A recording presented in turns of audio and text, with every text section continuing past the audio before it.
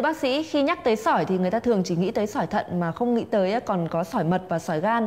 Vậy thì bác sĩ có thể giải thích rõ hơn cho Thu Hoàng cũng như quý vị khán giả về vị trí cũng như là nguyên nhân hình thành nên những loại sỏi này hay không ạ?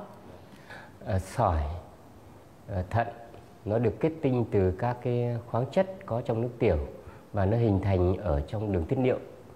À, tùy theo vị trí của nó mà nó có tên gọi. Ví dụ như là nếu sỏi nằm ở đài thận và bể thận thì gọi là sỏi Ờ, đài bể thận hoặc nôm na người ta gọi là sỏi thận. Nếu nó nằm ở niệu quản thì là sỏi niệu quản hoặc là sỏi bằng quang hoặc sỏi niệu đạo. À, sỏi được hình thành à, từ các cái sự kết tinh của các cái khoáng chất có trong nước tiểu à, khởi đầu nó là hình thành các cái nhân sỏi nhân sỏi có thể là vài cái tinh thể kết dính lại với nhau có thể là mảnh à, của tổ chức hoặc là xác của các tế bào từ cái nhân sỏi này các cái Ừ, tinh thể được hình thành sẽ kết dính tiếp vào để nó lớn dần lên để tạo thành sỏi và sỏi cũng tiếp tục lớn lên theo thời gian ở trong đường tiết niệu à, thành phần của sỏi thì hiện nay đối với sỏi thận nó có 5 cái loại sỏi Sỏi thứ nhất là sỏi canxi có thể là canxi oxalat hoặc canxi phốt phát. Với sỏi canxi oxalat thì nó thường có màu nâu đen, có nhiều gai và rất rắn. À, sỏi canxi phốt phát thì nó có màu trắng ngà, nhẵn và tạo thành các cái lớp đồng tâm, nó bở hơn nhưng cũng rất rắn. À, sỏi canxi là cái sỏi chiếm tỷ lệ cao nhất ở Việt Nam nó khoảng từ 70 đến 80% các loại sỏi. Loại thứ hai là sỏi urat nó được hình thành từ các axit uric gặp ở những người mà có hội chứng tăng axit uric và những người uh, bị bệnh gút. Loại sỏi thứ ba là sỏi struvit hay là người ta còn gọi nó là sỏi nhiễm khuẩn vì nó được hình thành ở những người bị nhiễm khuẩn tiết niệu mãn tính. Cái loại sỏi thứ tư là sỏi cystin.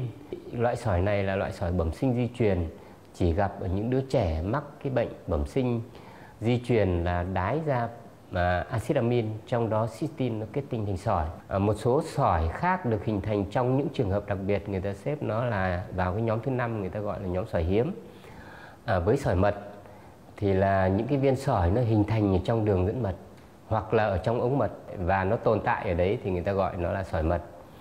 À, sỏi mật nó được tạo thành do sự kết tinh từ các thành phần của mật. À, trong đó nó có ba loại sỏi. Sỏi thứ nhất là sỏi cholesterol sỏi thứ hai là sỏi sắc tố mật và sỏi thứ ba là muối mật.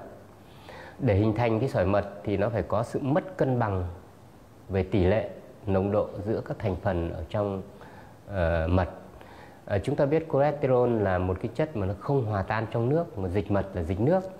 Như vậy để hòa tan được cholesterol trong dịch mật thì gan đã sản xuất ra một hai cái axit gọi là axit mật để có tác dụng hòa tan cái cholesterol này.